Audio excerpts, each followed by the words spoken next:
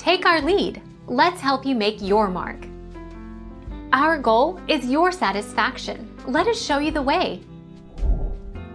Green lights also allow for better contrast at night, making them ideal for hunting darkly colored animals, such as feral hogs.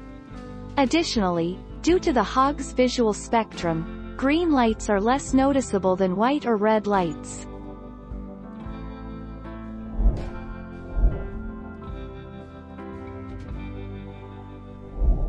Make your mark. Take our lead. Using a low-intensity red light or green light helps preserve your night vision.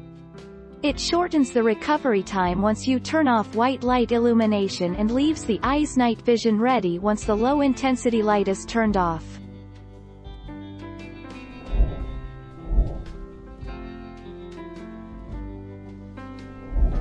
Make your mark. Take our lead.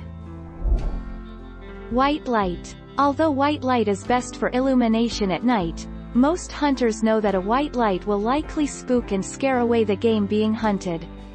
This is the reason most hunters choose colored hunting lights such as red, green or even blue and purple.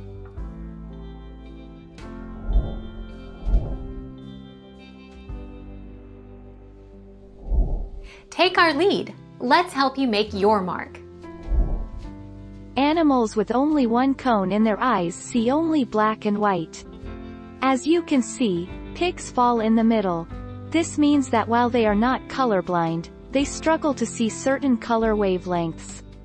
Hogs can detect the color blue but struggle with colors on the green and red spectrum.